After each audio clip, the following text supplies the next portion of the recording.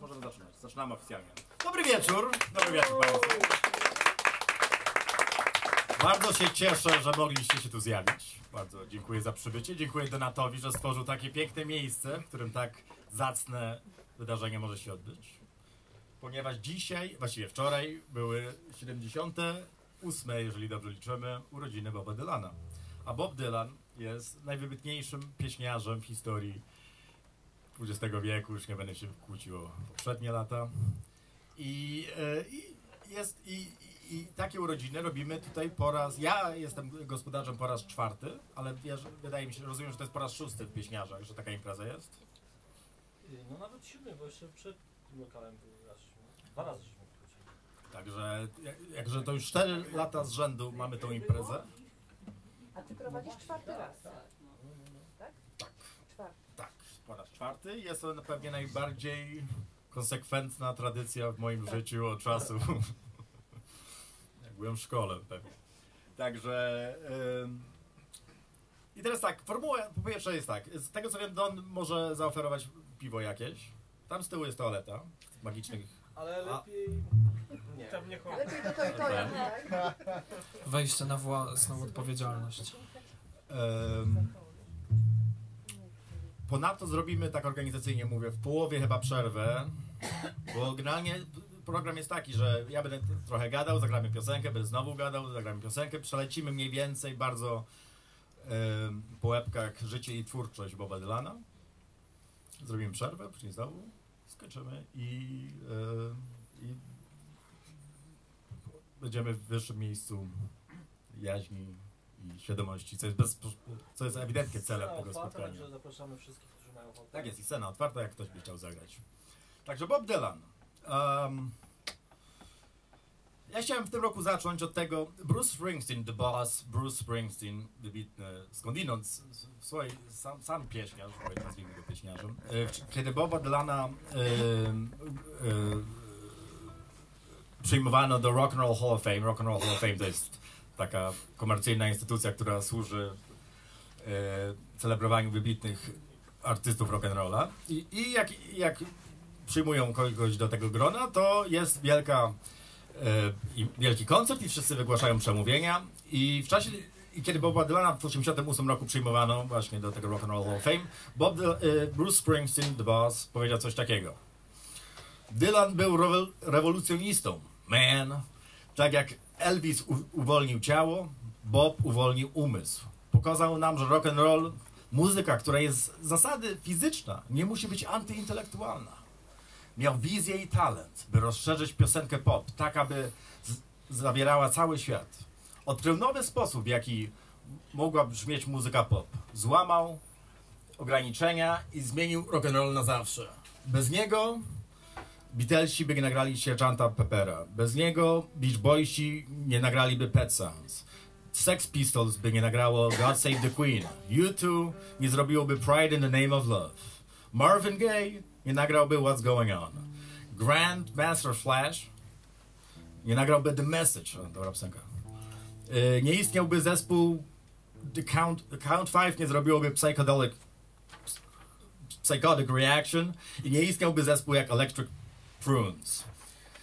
I jest prawdą, że Bob Dylan i jego twórczość na zawsze zmieniła rock'n'rolla i tak o ile bardzo wiele rzeczy w historii ma charakter ewolucyjny, to Bob z dnia na dzień niemalże wywrócił całą scenę folkową e, do góry nogami. Ja wejdę, w, czy nie wejdę, albo wejdę w dygresję, co było przed Bobem Dylanem. Przed Bobem Dylanem była druga wojna światowa. I wiadomo, że po II wojnie światowej, po wielkich wojnach i kataklizmach ludzie robią porządne rzeczy i nie marnują czasu na pierdoły i po prostu żyją skromnie, robią dzieci i żyją na przedmieściu i, i, i wychowują te dzieci.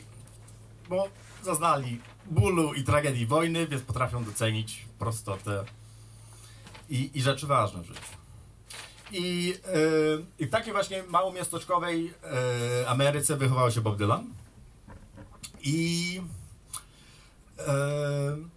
I nagle przyszedł Elvis. W 1955 roku, 10 lat po wojnie, zaczął swoimi biodrami w telewizji i Ameryka, tak jak mówił The Boss Bruce Springsteen, już nie była taka sama. Uwolnił ciało. rozpoczął w pewnym sensie to, co nazywamy rewolucją hipisowską, to co nazywamy jedni patrzą na to pozytywnie, drudzy mniej pozytywnie, na wszystkie liberalne zmiany drugiej połowy XX wieku. I najpierw przyszedł Elvis. To długo nie trwało. Elvisa ostrzeżono, wysłano go do wojska i w pewnym sensie ten pierwszy bunt y, został y, zatrzymany, ale później pojawili się Beatlesi. I Beatlesi, a wraz z nim, a później Bob Dylan zrewolucjoniwa- zrewo- zrewolucjonizowali muzykę pop taką, jaką znamy. I bo do czego Bob Dylan zaczął? Bob Dylan zaczął od tych znanych piosenek Blowing in the Wind, Times Are Changing. Te protest songi z, z tym utożsamiamy Boba Dylana. A większość ludzi myśląc o Bobie Dylanie myśli właśnie o takim faceciku z gitarką, który śpiewa o tym, że pokój ma nadejść i że wojna jest zła i że co. I to są, i te pierwsze dwie płyty Boba Dylana takie są. Znaczy, pierwsza, pierwsza właściwie nie pierwsza, druga i trzecia takie są, a pierwsza zawiera standardy, tak tylko ścisłe. I najbardziej oczywiście znaną piosenką jest Blowing in the Wind, znana z repertuaru Maryli Rodowicz, ale my nie zagramy tej piosenki, zagramy piosenkę Times They Are Changing, która e, mówi o tym właśnie, wróży temu, że niedługo przyjdą zmiany i przyszły w latach 60. Zmiany, jeśli chodzi o walkę o, o, o, o równość rasową, jeśli chodzi o równość kobiet, wyzwolenie kobiet, ruchy hipisowskie. I ta piosenka nie, nie, niejako wróżyła, że takie czasy nadejdą. I Bob Dylan napisał tą piosenkę po tym, jak e, kilka tygodni po tym, jak występował przed Martinem Lutherem Kingiem, przed e, w Waszyngtonie była wielka demonstracja na rzecz e, na rzecz praw czarnoskórych Amerykanów i, e, i parę tygodni później napisał tą piosenkę, którą zaśpiewa Dawid, ponieważ Dawid bardzo ładnie śpiewa i e, więc ją zagramy. Chciałem powiedzieć, chcę jeszcze tak rzucić właśnie, ponieważ ja zaraz będę burzył ten mit właśnie protest songu i wielkiego takiego wizjonera i takiego mm, guru e, protestu, że w dzisiejszych czasach Bob Dylan sprzedawał tą, sprzedaje tą piosenkę do reklamy jakiegoś banku. Bardzo frywolnie sprzedaje prawa autorskie do tych piosenek i wydawałoby się coś, co ma jakoś w pewnym sensie z pewną świętością dla wielu ludzi, na przykład dla Joan Baez. Dla niego pieniądze mają większą wartość, co jest ciekawym, ciekawą obserwacją.